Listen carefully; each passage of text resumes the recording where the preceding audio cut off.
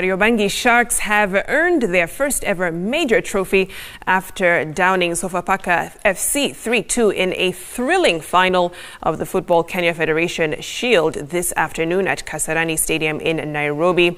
George Abege scored a brace for Sharks before Sydney Simale iced their win. Captain Stephen Waruru and Kevin Kimani score a goal each for Batoto Bamungu, but they weren't enough to earn them a victory. Following the win, Kariobangi Sharks will for the first time represent Kenya in the Continental Confederations Cup next year.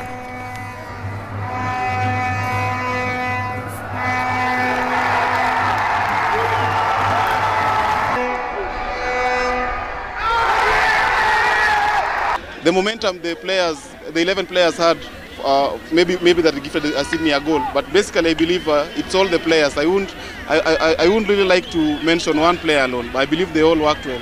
Unfortunately, we have lost. But the team played the way I wanted. They tried, we created chances, they converted some.